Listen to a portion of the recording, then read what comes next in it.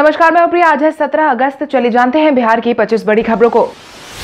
बिहार में कोविड 19 प्रभावितों की संख्या पहुँची एक लाख चार हज़ार के पार। बिहार में कोविड 19 प्रभावितों की संख्या लगातार बढ़ती जा रही है। स्वास्थ्य विभाग की तरफ़ से जारी किए गए आंकड़ों के अनुसार बीते दिन पिछले 24 घंटे में बिहार में कुल मिलाकर दो हज़ार एक सौ सतासी नए मामलों की पुष्टि की गई है, जिसके बाद बिहार में संक्रमितों की कुल संख्या एक लाख चार हज़ार तिरानवे पर पहुँच गई है। अगर प्रभावित जिलों की बात करें तो अररिया में उन्नीस, अरवल में इक्कीस, औरंगाबाद में एक सौ तेरह, बांका में उन्नीस, बेगूसराय में चौवन, भागलपुर में एक सौ सतहत्तर, भोजपुर में बावन, बक्सर में छियालीस छियालीस दरभंगा में पैंतीस, पूर्वी चंपारण में छियानवे, गया में पंद्रह, गोपालगंज में इकहत्तर, जमुई में अट्ठाईस, जहानाबाद में अट्ठाईस, कैमूर में छह, कटिहार में तेरह, खगड़िया में तीस, किशनगंज में तेरह, लखीसराय में छत्तीस, मधेपुरा में पैंतीस, मधुबनी में एक सौ सत्ताईस, मुंगेर में पचास, मुजफ्फरपुर में संतावन, नालंदा में नब्बे, नवादा में अठारह, पटना में दो सौ तिरपन, पूर्णिया में बयासी, रोहतास में पैंतीस, सहरसा में संतावन समस्तीपुर में सैंतीस, सारण में चौहत्तर, शेखपुरा में तैतीस, शिवहर में सात, सीतामढ़ी में अठहत्तर, सिवान में अट्ठाईस, सुपौल में चौंतीस, वैशाली में संतावन पश्चिम चंपारण में इक्यासी। वहीं कोविड 19 से अब तक बहत्तर मरीज़ ठीक हो चुके हैं। वहीं अब तक पाँच सौ सैंतीस लोगों की जान जा चुकी है। बाढ़ की चपेट में आए बिहार के 19 जिलों के 9 लाख हेक्टेयर फ़सल बर्बाद। जैसे जैसे बिहार में कोविड 19 प्रभावितों की संख्या बढ़ती जा रही है, वैसे वैसे बाढ़ प्रभावित जिलों की संख्या भी लगातार बढ़ती जा रही है। आपदा विभाग की तरफ़ से जारी किए गए जानकारी के अनुसार बिहार में वर्तमान समय में कुल मिलाकर उन्नीस ज़िले बाढ़ की चपेट में है। इन जिलों में दो सौ इक्यावन प्रखंड में किसानों की आठ लाख हेक्टेयर में लगी फ़सल को नुकसान हुआ है। सबसे ज़्यादा नुकसान मुजफ्फरपुर ज़िले के किसानों को हुआ है, जहाँ पर एक दशमलव शून्य आठ लाख हेक्टेयर में लगी फ़सल की क्षति पहुँची है। दूसरे नंबर पर पचासी दशमलव दो नौ हज़ार हेक्टेयर के साथ सीतामढ़ी और तीसरे नंबर पर तेरासी दशमलव पाँच चार हज़ार हेक्टेयर के साथ दरभंगा जिला है।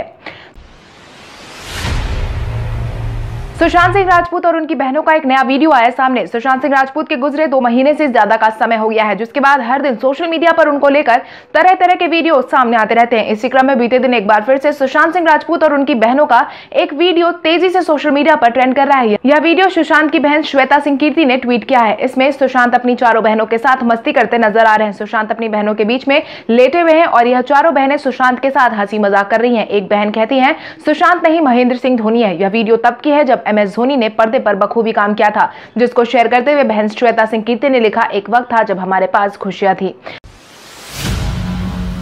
पूर्व प्रधानमंत्री की पुण्यतिथि पर उप मुख्यमंत्री सुशील कुमार मोदी ने दी श्रद्धांजलि। बीते दिन पूर्व प्रधानमंत्री अटल बिहारी वाजपेयी की पुण्यतिथि पर उप मुख्यमंत्री सुशील कुमार मोदी ने उन्हें श्रद्धांजलि दी है, जिसके तहत बीते दिन बिहार के भाजपा प्रदेश कार्यालय में वर्चुअल कार्यक्रम का आयोजन किया गया था, जिसमें बिहार के उप मुख्यमंत्री सुशील कुमार मोदी, भाजपा के राष्ट्रीय महासचिव राम माधव समेत बिहार भाजपा के सभी नेता ने हिस्सा लिया था। इस कार्यक्रम को संबोधित करते हुए मुख्यमंत्री सुशील कुमार मोदी ने कहा कि बिहार के लिए गंगा नदी पर दीघा, सोनपुर और मुंगेर में रेल सह सड़क, पुल, कोसी नदी का बाढ़ का, NTPC super thermal power station आदि वाजपेयी जी की अविस्मरणीय सौगात है। अटल जी सच्चे अर्थों में भारत रत्न थे।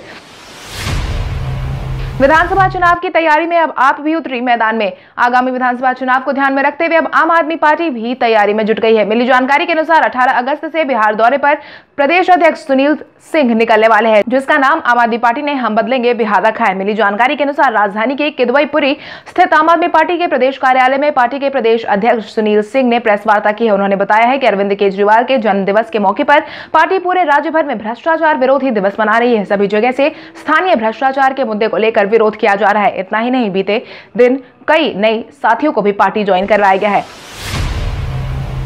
आज बिहारी पहचान में हम बात करेंगे डॉक्टर वशिष्ठ नारायण सिंह की। डॉक्टर वशिष्ठ नारायण सिंह भोजपुर के निवासी थे और वो नेतरहाट आवासीय विद्यालय के छात्र रह चुके हैं और उन्नीस सौ बासठ में दसवीं की बोर्ड परीक्षा में उत्तीर्ण हुए थे। पटना के साइंस कॉलेज से उन्होंने पढ़ाई की थी। साथ ही इस दौरान उनकी मुलाकात अमेरिका के प्रोफेसर से हुई थी, जो उस वक्त पटना आए हुए थे। उनकी प्रतिभा को प्रोफेसर पहचान गए थे और उन्हें बर्कली आकर शोध कार्य में शामिल होने का निमंत्रण भी दिया था। उन्नीस में वो कैलिफ़ोर्निया विश्वविद्यालय में गए थे और उन्नीस सौ उनहत्तर में पीएचडी की उपाधि वहाँ से हासिल की थी। ताही नहीं, उन्होंने पूरे देश में भारत का पिछड़ा राज्य माने जाने वाला बिहार को नई पहचान और नई ऊर्जा दिलाई थी। वॉशिंगटन में उन्होंने गणित के प्रोफेसर के तौर पर काम किया और उन्नीस सौ इकहत्तर में वापस अपने मातृभूमि भारत आ गए। वहीं भारत पहुंचकर उन्होंने भारतीय सांख्यिकी संस्थान कोलकाता और भारतीय प्रौद्योगिकी संस्थान कानपुर में काम किया था। उनकी दुनिया को साल 2019 में अलविदा कहने के बाद सरकार ने सामने आकर उनके नाम पर आरा इंजीनियरिंग कॉलेज का नाम रखने का ऐलान किया है। चुनाव से पहले राजद ने तीन एमएलए को किया छह साल के लिए निलंबित। राजद कई नेताओं की वजह से अपनी छवि को लेकर आए दिन सवालों के घेरे में नज़र आई है। वहीं अब विधानसभा चुनाव से ठीक पहले राजद ने रणनीतियों को सुधारने का काम किया है, जिसके तहत राजद ने बीते दिन तीन एमएलए को पार्टी से निष्कासित कर दिया है। राजद के तीन नेताओं को छह साल के लिए पार्टी से बाहर कर दिया गया है, जिसके तहत राजद के बांकीपुर विधायक प्रेमा चौधरी, फराज फातिमा और गायघाट विधायक महेश्वर यादव को पार्टी ने छह साल के लिए बाहर कर दिया है। खबरों की माने तो यह तीनों नेता पार्टी के खिलाफ उठ रहा रहे आवाज़ के कारण बाहर निकाले गए हैं।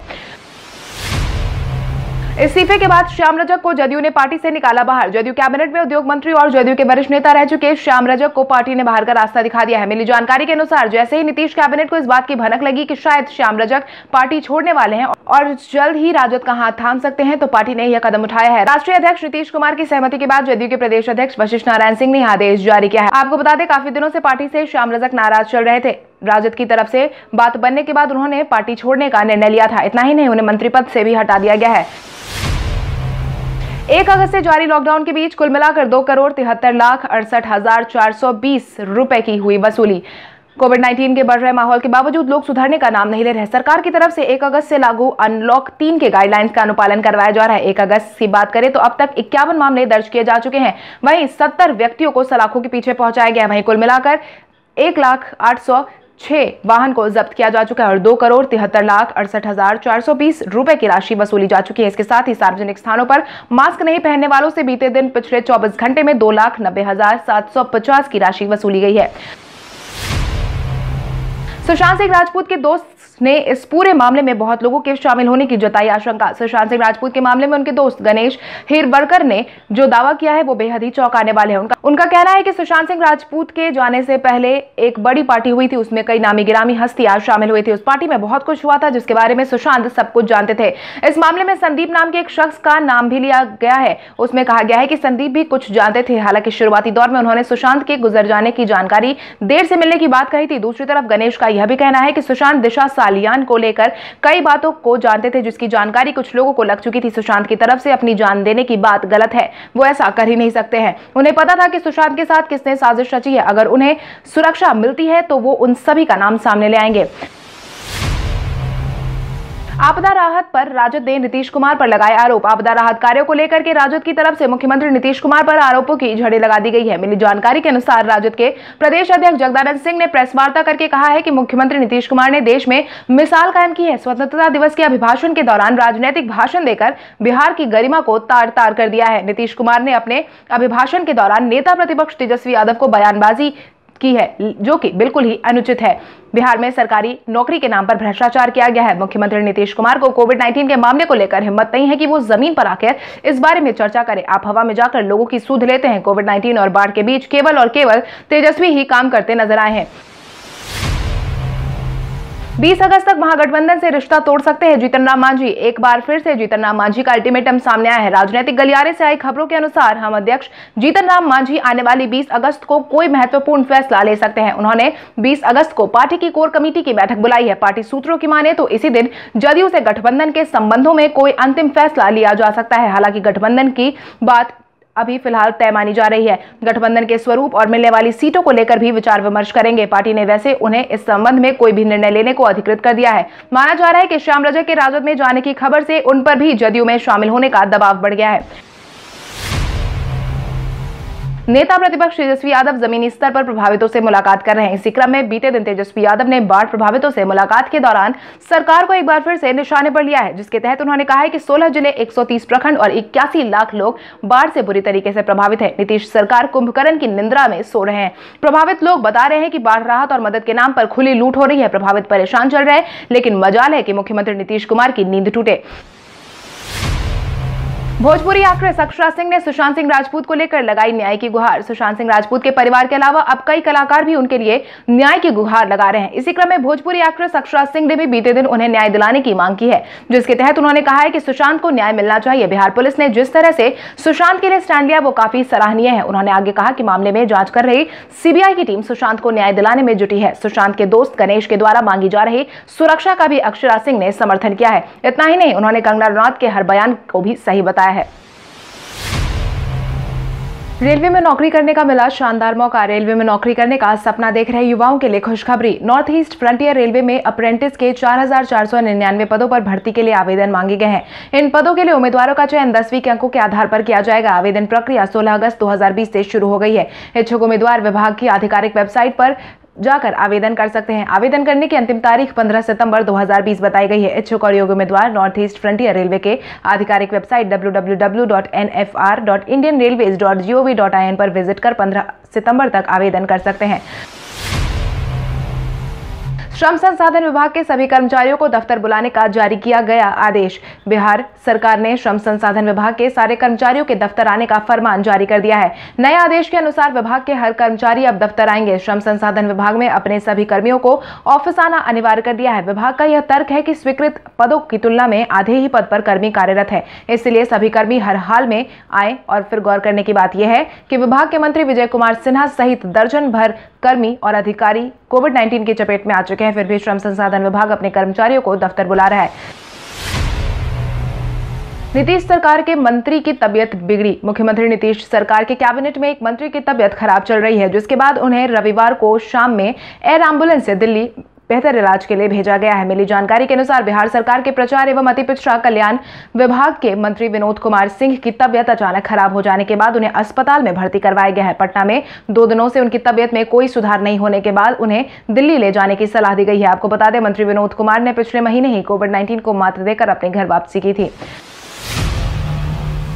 नीरज कुमार ने लालू तेजस्वी को एक बार फिर लिया निशाने पर बिहार सरकार के सूचना एवं जनसंपर्क मंत्री नीरज कुमार ने एक बार फिर से नेता प्रतिपक्ष तेजस्वी यादव और लालू प्रसाद यादव पर निशाना साधा है, जिसके तहत उन्होंने कहा कि तेजस्वी यादव यह कब समझेंगे कि प्राकृतिक आपदाएँ राजनीतिक दृष्टिकरण का साधन नहीं होती, बल्कि प्रभावित के सहायतार्थ उपलब्ध होने का वक्त है। 2017 में बाढ़ के वक्त भी गंगा मैया की कृपा बताकर बाढ़ प्रभावितों को भाग्यशाली घोषित कर ज्ञान बांट रहे थे कि जान बचाइए, दूध चढ़ाइए और पूजा कीजिए। उन्होंने आगे कहा कि कुछ लोग प्रभावितों का मखौल उड़ा, आनंदित हो रहे हैं। लेकिन मुख्यमंत्री नीतीश कुमार जी इस मामले में संवेदनशील है। उन्होंने हमेशा कहा है कि सरकारी खजाने पर पहला हक प्रभावितों का है। सीमा बल भर्ती के लिए 1522 पदों पर निकाली गई रिक्तियाँ। सशस्त्र सीमा बल भर्ती के लिए आवेदन विभागों में 1522 पदों के लिए आवेदन आमंत्रित किए गए हैं। इसमें एसएसबी भर्ती 2020 ऑनलाइन आवेदन के इच्छुक उम्मीदवार आवेदन कर सकते हैं। सशस्त्र सीमा बल भर्ती 2020 भारत सरकार के गृह मंत्रालय सरकार का हिस्सा है। इसके लिए सभी आधिकारिक वेबसाइट से आवेदन करना होगा। उम्मीदवारों को सबसे अच्छा मौका प्रदान कर रहा है जो भारतीय सेना में नवीनतम नौकरियाँ देख रहे हैं। इसके लिए बस सभी अभ्यर्थियों को डब्ल्यू पर जाकर आवेदन करना है। जदयू कार्यालय को दिया जा रहा है कॉर्पोरेट लुक आगामी विधानसभा चुनाव को ध्यान में रखते हुए जदयू कार्यालय का चेहरा बदलने का काम किया जा रहा है। भवन निर्माण मंत्री अशोक चौधरी की देखरेख में पार्टी कार्यालय के अत्याधुनिक खेमे को अंतिम रूप देने की तैयारी हो रही है। इस भवन में चुनाव प्रचार से लेकर पार्टी की अहम बैठक के लिए कई तरह की सुविधाएँ करवाई जा रही हैं। अधिकारियों की माने तो जदयू कार्यालय को कॉर्पोरेट लुक देने की तैयारी की जा रही है।